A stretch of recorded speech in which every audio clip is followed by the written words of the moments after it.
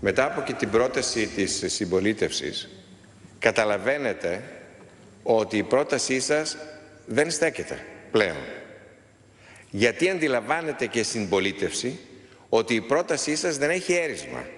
Να σας πληροφορήσω, όπως μας πληροφορήσετε και εσείς με τα στοιχεία της Ευρώπης, ότι στη Γερμανία που εφαρμόζεται επί χρόνια μόνο το 50% των αιτήσεων για παρακολούθηση εξ αποστάσεων μπορεί να ικανοποιήσει.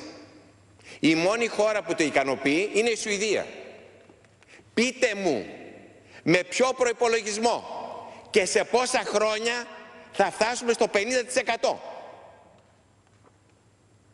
Είναι υποκριτικό αυτό που λέτε και το γνωρίζετε. Έχουμε Σήμερα έχουμε και την απόφαση της συγκλήτου του Αριστοτελείου Πανεπιστημίου που λέει ότι εκλυπαρεί να εγκαταλείψει αυτή τη θέση. Δεν μπορεί να εφαρμοστεί. Έχουμε τον κύριο Φορτσάκη που δεν είναι ΣΥΡΙΖΑ που λέει ότι δεν μπορεί να εφαρμοστεί. Ξέρουμε πολύ καλό ότι η πρόταση είναι ανεφάρμοστη και για τεχνικούς λόγους και για έναν πλέον λόγο για τον οποίο δεν πήρα την απάντησή σας. Ότι μια τέτοια εξαποστάσεως διδασκαλία προϋποθέτει ελεύθερο ίντερνετ 24 ώρες το 24ωρο. Θα προχωρήσετε και σε πόσο διάστημα έστω ότι θα το κάνετε σε αυτή την νομοθετική ρύθμιση που θεωρώ ότι είναι λάθος. Δεν μπορούν οι κρατούμενοι να έχουν ελεύθερη πρόσβαση στο ίντερνετ.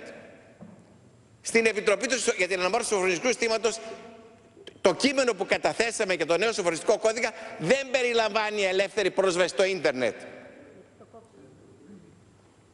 Εσείς θα προχωρήσετε σε ελεύθερη πρόσβαση στο ίντερνετ; Γι' αυτό σας λόγο σας λέω ότι η πρότασή σας για εξαποστάσιο διδασκαλίας είναι υποκριτική. Παρακάμπτει το ζήτημα. Και απευθύνομαι στους συναδέλφους του ΠΑΣΟΚ λέγοντας ότι ενώ η πρότασή τους δίνει λύση, αύριο να συνταχθούν με την ονομαστική ψηφοφορία και να καταψηφίσουν. Και αυτό ενδεχομένως αποτελεί και μία έκκληση, μία παράκληση. Αν ο Υπουργός έρθει αύριο. Στο... Βεβαίως, αν ο Υπουργός έρθει αύριο και καταθέσει αυτό που είπατε και συνενούμε, ναι, βεβαίως είναι λύση. Ωραία, ολοκληρώσατε. Ευχαριστούμε κύριε Κουράκη. Κυρία Κατριβάνου για δύο λεπτά. Κύριε Υπουργέ, όσα, το μικρό διάστημα που είμαι βουλευτής, δεν έχω δει ποτέ τόσο σύμπνοια, ευρηματικότητα και κινητικότητα από τη μεριά των περισσότερων μας για να μπορέσουμε να δώσουμε μία λύση. Έχουμε μέσα σε όλη αυτή τη διαδικασία πέντε διαφορετικές προτάσεις. Δεν έχω ξανακούσει ποτέ τον έναν ή, τον, ή την άλλη βουλευτή από τη μία ή την άλλη παράταξη να λέει ότι εγώ κάνω πίσω αν είναι να γίνει αποδεκτή μια τροπολογία ή η άλλη. Ποτέ κύριε Υπουργέ. Λοιπόν, σε αυτή τη διαδικασία, γιατί, γιατί είναι η ζωή ενός ανθρώπου και το ξέρουμε όλοι. Και εσείς βάζετε μία τροπολογία η οποία δεν απαντάει στη ζωή αυτού, δεν θα λύσει το πρόβλημα και το ξέρετε πάρα πολύ καλά. Ο άνθρωπος αυτός, ο Ρωμανός, μπήκε σε απεργία νερού, δίψας. Έτσι, δεν θα πάρει νερό. Δύο μέρες έχουμε καιρό. Και το πράγμα είναι κρίσιμο, έχει γίνει κρίσιμο. Δεχτείτε οποιαδήποτε πρόταση Οποιαδήποτε πρόταση. Είναι λογική αυτό που κάνετε.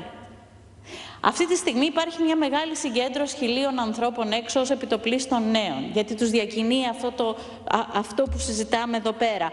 Όλη η κοινωνία μας παρακολουθεί. Και να σας πω και κάτι.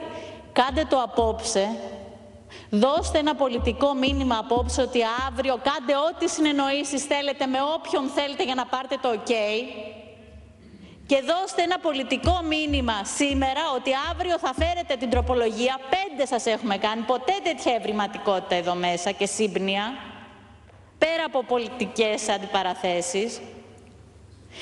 Πείτε ότι θα φέρετε αύριο μια τροπολογία και αν θέλετε το εξαποστάσεως σας προτείνω εγώ, το οποίο αυτή τη στιγμή δεν είναι αυτό που θα δείσει λύση, γιατί απλά δεν θα το δεχτεί ο Ρωμανός άμεσα, να το φέρετε αν θέλετε με ένα κανονικό τρόπο αργότερα που θα ενέχει και θα, θα συμπεριλαμβάνει και τη διαβούλευση που του αρμόζει. Γιατί το εξαποστάσεως θέλει διαβούλευση και θέλει προσοχή για να γίνει αυτό το άρτιο σύστημα που λέτε. Ευχαριστούμε κυρία Συνάδελφε. Έκκληση Έκλεισε από όλους μας και από όλες μας. Πάρτε μία απόφαση σήμερα και φέρτε το αύριο. Όποια από τα πέντε, όποιες από τις πέντε προτάσεις που σας έχουμε φέρει. Ευχαριστούμε, και είμαστε κυρία διατεθειμένοι να κάτσουμε εδώ να σας φέρουμε και άλλες.